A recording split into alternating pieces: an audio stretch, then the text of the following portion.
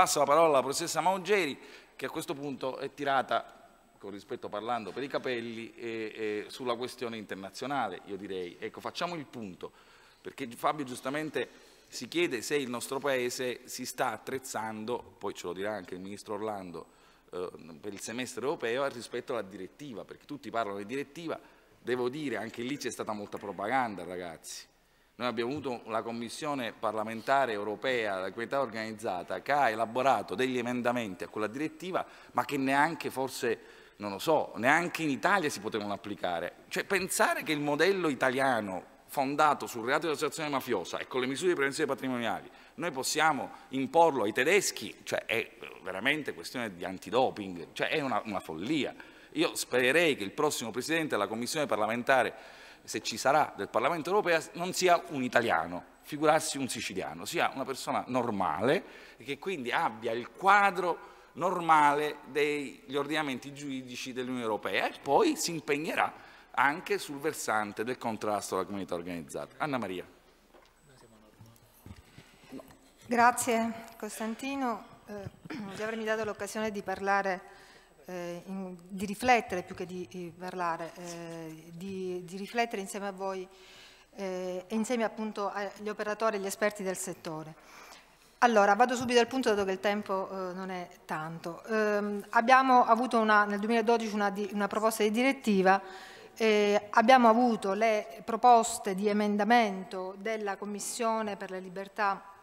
civili, giustizia e affari interni, la cosiddetta Commissione LIB, e quindi nel, eh, il 25 febbraio del 2014 eh, viene approvata dal Parlamento, non ancora dal Consiglio. Fondamentalmente si ritiene che sarà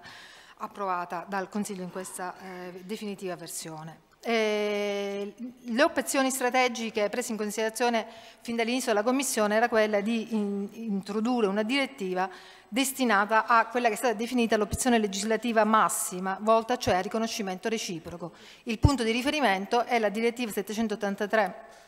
la decisione 4 783 del 2006 volta proprio al mutuo riconoscimento. La direttiva deve in gran parte sostituire la decisione 4 212 del 2005 sui poteri allargati di confisca, che era molto garantista, proponeva un modello di confisca molto garantista, deve in gran parte eh, sostituirla in relazione quindi, la direttiva ci dovrebbe dare quello che è il modello di confisca, in particolare confisca allargata, destinata al mutuo riconoscimento. E questo è appunto il problema, perché la lotta contro eh, l'infiltrazione criminale nell'economia e contro la criminalità organizzata finanziaria, il discorso che faceva eh, il dottore Sabelli e, eh, avverrà attraverso la cooperazione a livello internazionale e quindi il, il, mutuo riconoscimento sarebbe lo strumento fantastico da questo punto di vista. Eh, il problema è che la eh, direttiva, eh, nonostante la proposta della Commissione Libe di introdurre una vera e propria azione REM, eh, non, è, eh, non, ha accolto questa proposta, ma ha fondamentalmente e accolto sicuramente una forma di confisca allargata, eh, la confisca senza condanna in, in, in, maniera assolutamente limitata. Dico subito che eh, la, um, nonostante ciò io direi che sulla direttiva noi dobbiamo trarre dalla direttiva tutta una serie di spunti di riflessione anche rispetto al nostro modello delle misure di prevenzione, perché tanto più il nostro modello in qualche modo, in ogni caso, eh, si avvicinerà alle garanzie richieste dalla direttiva, tanto più ai fini del mutuo riconoscimento sarà preso in considerazione negli altri paesi, perché vi dico subito, eh, è vero che la direttiva non accoglie il nostro modello, ma la direttiva non è incompatibile con il nostro modello di mm, eh, misure di prevenzione. Non è incompatibile perché l'articolo 4,2 nel prevedere la confisca senza condanna dice almeno, at least, quindi almeno questo, vi richiedo questo, ma poi potete introdurre anche un modello con, più, eh, con minori garanzie, perché questa è la logica, che era anche la logica della 212 del 2005. La logica che secondo me è problematica non è quella di dire io ti impongo queste garanzie minime, dopodiché eh, vedi tu qual è il modello più efficace. La logica è, è sulle garanzie minime impone il mutuo riconoscimento. Questa era la più difficile. Facciamo il lavoro al contrario. Io ti impongo il modello minimo di efficacia, di efficienza, dopodiché con certe garanzie, Dopodiché tu puoi introdurre un modello più efficiente con meno garanzie, però su quel modello più efficiente con meno garanzie io non impongo il mutuo riconoscimento, ma non lo vieto, poi rimane sempre la discrezionalità degli Stati, anche perché ci sono, non vi spiego qui, tutta una serie di clausole nella 783 del 2006 che consentono questo. Il problema è che però, appunto, come è avvenuto per la 212 del 2005, molti Stati poi rifiutano di eh, applicare un provvedimento eh, senza condanna eh, proprio basandosi su queste clausole che consentono il rifiuto. Non sempre, c'è sempre di più, ne abbiamo parlato l'altra volta davanti ai magistrati, c'è sempre di più un'apertura di fiducia, abbiamo dei casi, casi Grisafulli in Svizzera, con l'Inghilterra abbiamo degli accordi bilaterali però, eh, però non, non, sempre, almeno le, dalla, eh, non sempre. Dico subito che in ogni caso il fatto che ci sia stata una proposta, una direttiva in materia di confisca eh, è l'argomento eh, sul quale abbiamo avuto le maggiori documenti a livello europeo insieme alla lotta contro la, la, gli strumenti per la tutela degli interessi finanziari è comunque indice dell'importanza che a livello europeo e non solo a livello europeo, non facciamo qui l'elencazione degli strumenti internazionali, si ha ormai la consapevolezza dell'importanza della lotta contro la criminalità organizzata dal punto di vista patrimoniale. Eh, allora, andiamo, il modello che è stato accolto alla fine di confisca senza condanna, anche il considerando numero 15 non esclude la possibilità che uno Stato membro possa introdurre forme di confisca, lo dice espressamente. Eh, allora, il modello che è stato accolto è eh, una forma di action in rem eh, mh, di, no di, action, scusate, di confisca senza condanna assolutamente eh, sostanzialmente limitata. Si prevede soltanto nell'ipotesi in cui il soggetto è affetto da malattia permanente o quando la fuga o la malattia non consente di agire in tempi ragionevoli. Non si prevede neanche eh, quell'ipotesi che era stata prevista nella proposta di direttiva, che era l'ipotesi della morte in cui il soggetto è deceduto. Eh, a proposito dell'ipotesi della morte, chiaramente era, eh, dal punto di vista eh, probabilmente internazionale era difficile ricepire questo modello, ci rendiamo conto che dal punto di vista dell'efficienza Chiaramente questa ipotesi, l'esperienza nostra dimostra che è un'ipotesi invece che nella prassi no, eh, criminologica è un'ipotesi eh, che rende inefficiente questo strumento perché addirittura diventa uno strumento delle organizzazioni quello di uccidere il prevenuto per evitare la confisca. Perlomeno si poteva prevedere in quella forma in cui era prevista anche prima delle nostre riforme, quando almeno c'era stato già un giudizio in primo grado di accertamento, dico almeno eh, e, e comunque fermo restando la problematicità, è chiaro, di eh, chiamare a difendere anche il patrimonio gli eredi, e la problematicità eh, rimane. Eh, siamo attenti, la mh, mm, direttiva richiede che comunque si agisca nei confronti di un soggetto che eh, nell'ipotesi in cui il soggetto sia eh, sos, eh, mm, sospettato o eh, e la Corte deve ritenere, è sospettato o accusato e la Corte deve ritenere che se l'indagato o l'imputato avesse potuto essere processato, il procedimento avrebbe potuto portare ad una condanna penale. Dico questo nel senso che fondamentalmente eh, quello che si prevede è quello che poi è previsto anche da noi, cioè che il soggetto comunque sia un soggetto indiziato anche la nostra in seguito alle riforme del 2008 e del 2009 è ormai pacifico come stabilito in giurisprudenza che il soggetto deve comunque rientrare nelle categorie eh, previste dall'ex articolo 1 della legge 575 del 65 e oggi dall'articolo ehm, 4 all'articolo 16 del eh, codice antimafia. Quindi vi deve essere comunque una pericolosità anche se non più attuale del soggetto. Qualcuno ha detto anche perché solo così si mantiene quel barlume di costituzionalità. Eh, importante e il ehm, Parlamento quindi fondamentalmente aderisce a, non aderisce all'occasione di, accogliere l'azione eh, REM, fa prevalere, possiamo dire, sulle esigenze di sicurezza e di lotta al crimine quelle delle garanzie.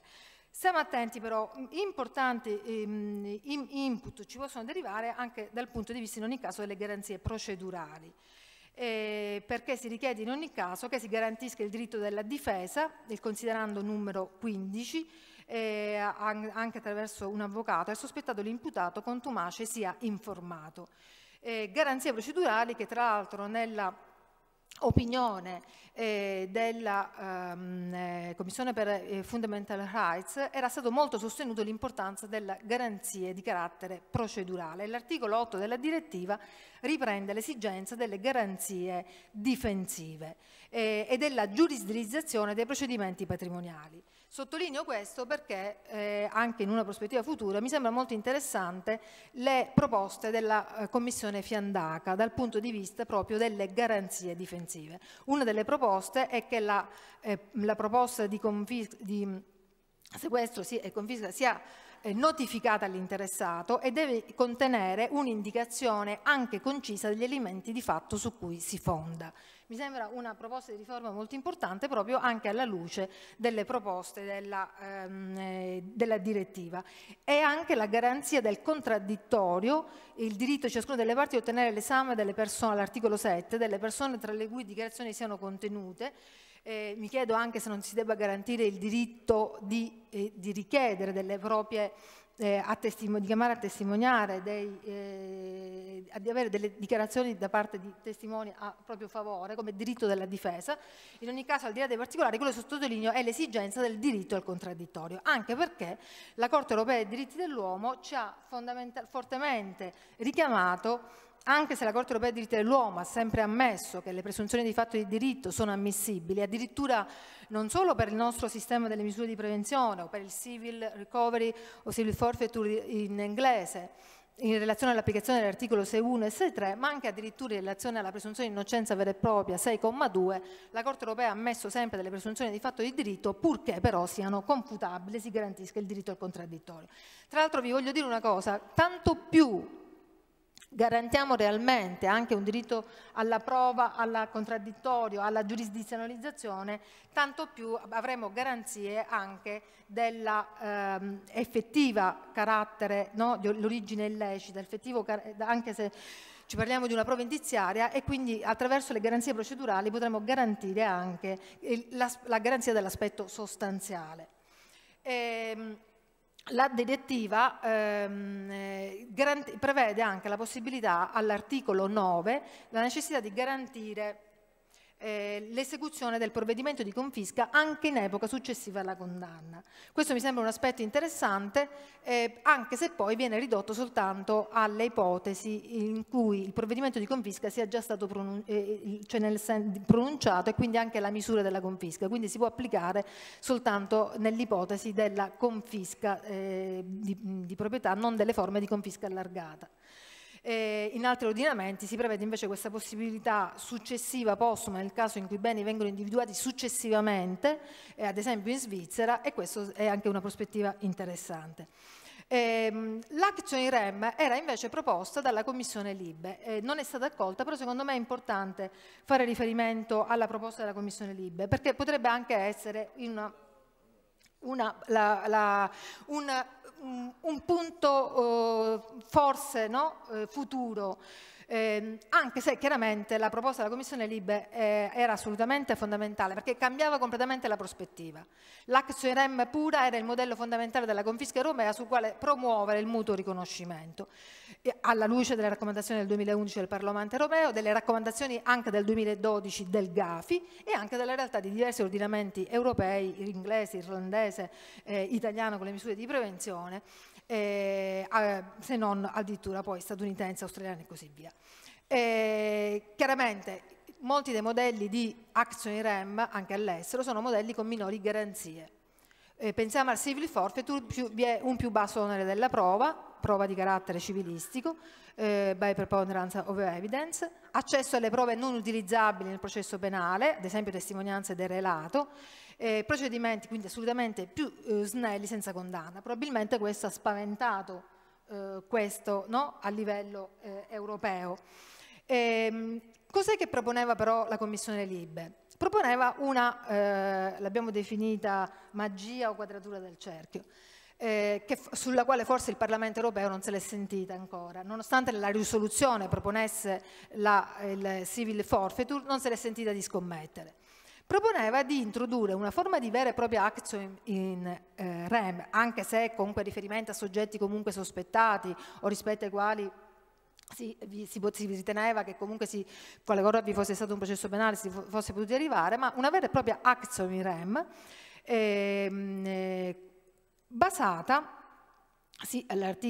riforma dell'articolo 5 della proposta di direttiva, quando l'autorità giudiziaria, sulla base di fatti specifici, dopo aver esperito tutti i mezzi di prova disponibili, sia convinta che tali beni derivano da attività di natura criminale. Si sottolinea nella proposta che però l'onere dello standard della prova eh, è uno standard il giudice sia convinto, si usa questa espressione, e si dice espressamente che anche laddove eh, viene definita questa forma di action rem come sanzione di carattere civile, deve essere riconducibile, il servizio eh, giuridico del Parlamento richiede che la misura debba essere relativa a un reato, deve essere qualificabile come sanzione penale in base ai criteri della Corte EDU. Eh, sostanzialmente la Corte Edu sappiamo accoglie una nozione ampia di materia penale nella quale è concibile ricondurre anche l'amministrativo punitivo o il disciplinare. Eh, nel caso si fa riferimento ai tre criteri, la, la eh, definizione del legislatore che non è rilevante, la natura dell'infrazione, nel nostro caso si deve trattare di un reato e proventi di un reato, eh, e la eh, gravità o e la natura della sanzione. Sostanzialmente, eh, semplifico, normalmente si ritiene che si dovrebbe trattare di una sanzione che ha carattere afflittivo e finalità di prevenzione generale e speciale, anche se in realtà è una nozione molto ampia.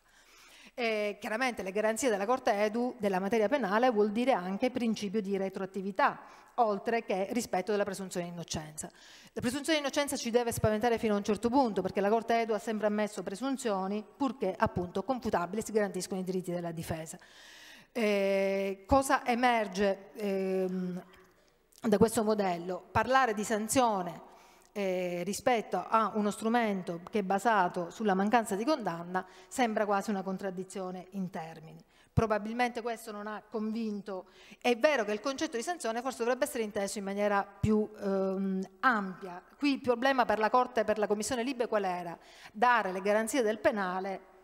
rispetto a un vero e proprio processo patrimoniale. Secondo me, tra l'altro, la quadratura del cerchio sta anche in questo standard della prova, perché tanto più proviamo effettivamente che si tratta di profitti di origine illecita, tanto più non si tratta di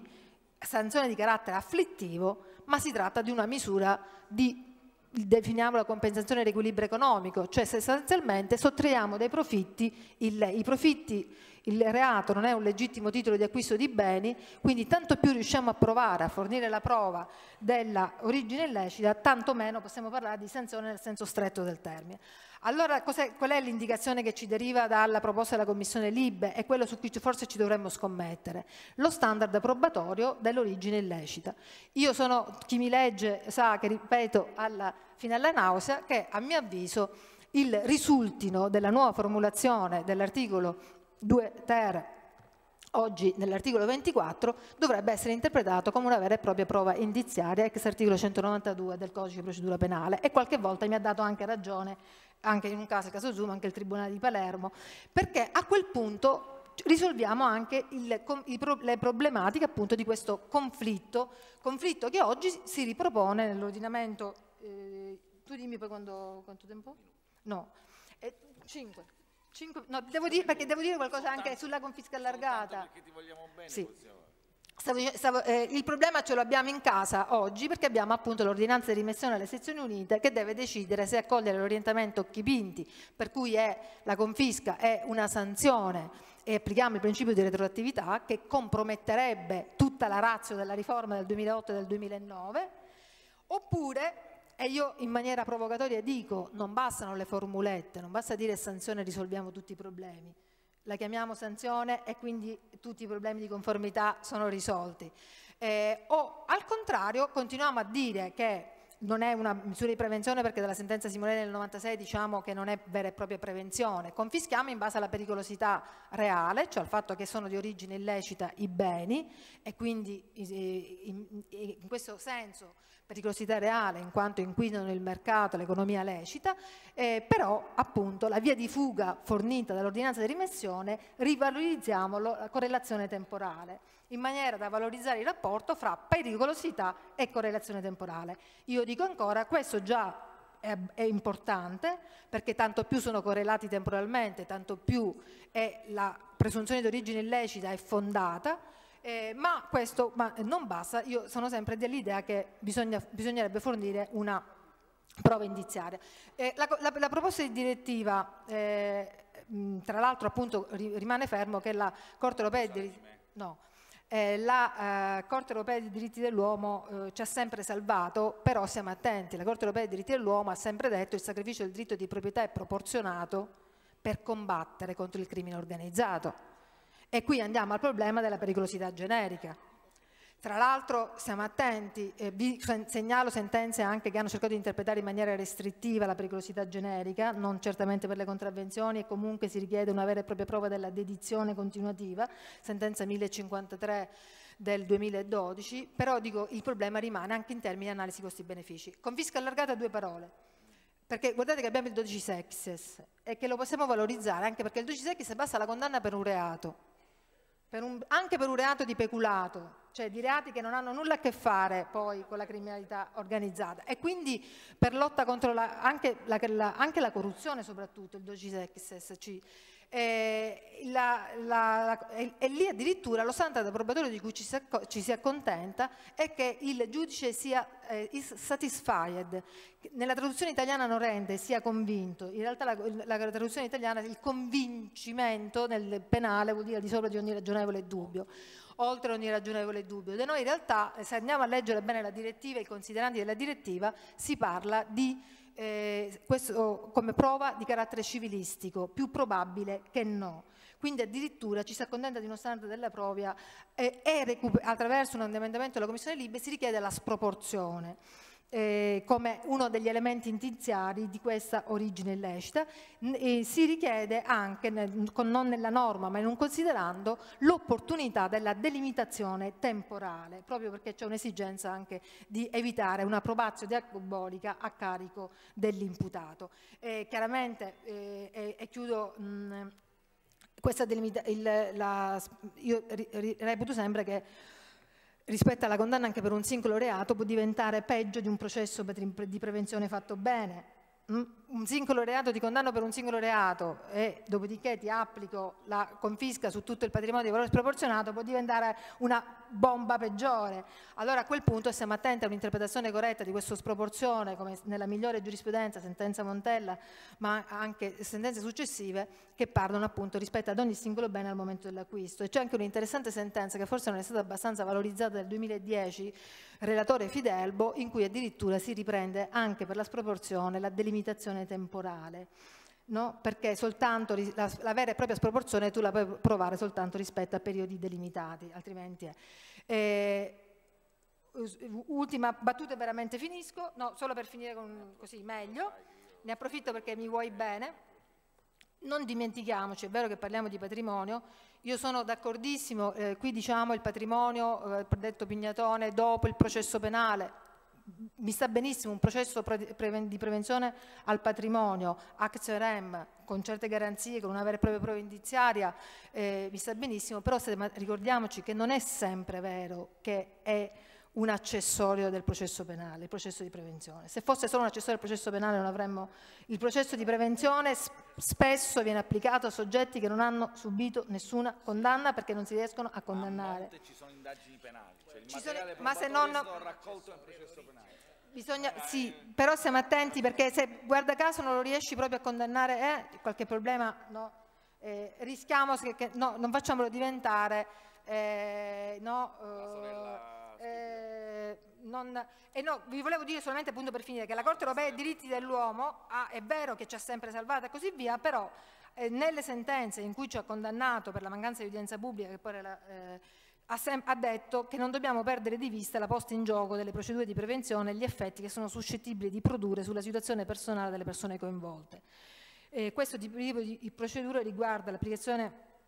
della confisca di beni capitali, cosa che direttamente è sostanziale, allora riguarda, mi ha fatto venire l'ansia,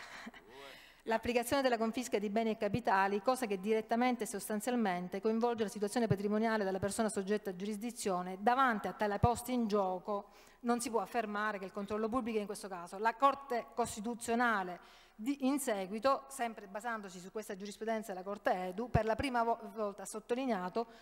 che eh, si tratta di un procedimento all'esito del quale il giudice è chiamato ad esprimere un giudizio di merito idoneo ad incidere in modo diretto, definitivo e sostanziale sui beni dell'individuo costituzionalmente tutelati, libertà personale, patrimonio e eh, libertà di iniziativa economica. Allora scusate, a me mi sta bene la prevenzione, ma qui secondo me non è vera e propria prevenzione. Io preferirei la, che oggi si parlasse veramente di una nuova antimafia. La vera prevenzione sono il controllo giudiziario e come strumento vero di prevenzione e non di eh, repressione del patrimonio, la prevenzione che tu elimini, cerchi di aiutare anche l'imprenditoria a allontanare l'attenzione mafiosa e secondo me appoggio, l'avevo già scritto tempo fa, eh, l'importanza della 231 come strumento addirittura con maggiori garanzie perché è un vero e proprio processo penale che attraverso i modelli organizzativi potrebbe consentire una logica che non è solo di repressione ma di vera prevenzione. Ma questo bisognerà, Però bisognerà dovremmo imparare Sabelli, a utilizzarla. Che Sabelli prenda l'impegno di insistere, non darò mai più la parola a Fabio Licato, è inutile che insiste e fammi lavorare. Il, che il dato, il dato oh, oh, importante, culturale, che bisogna mettere al centro delle questioni formative al Consiglio Superiore e anche nell'attività dell'Associazione Nazionale sono la cultura dei magistrati. E le norme fino a un certo punto. Se non abbiamo la cultura giusta, arricchita dei magistrati, tutti questi strumenti o non li utilizziamo o rischiamo di utilizzarli non come bombe intelligenti ma come bombe eh, eh, nucleari. Io no, non farò parlare Fabio Licato. No, almeno dopo il secondo giro, Fabio.